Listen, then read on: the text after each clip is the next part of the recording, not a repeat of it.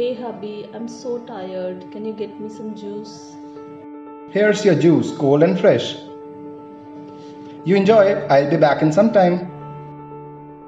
Hi boss, how come you're here? And what is this knife for? To kill you! Ah! I should not leave any evidence here. I haven't done anything. Why did you catch me? I didn't kill my wife. You can check the CCTV. No, you are lying. CCTV shows just you and your wife at home. There is some error. Please get it checked.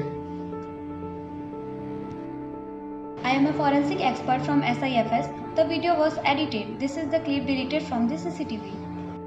This is my wife's boss. Thank you, ma'am. This man is innocent. Catch the real culprit.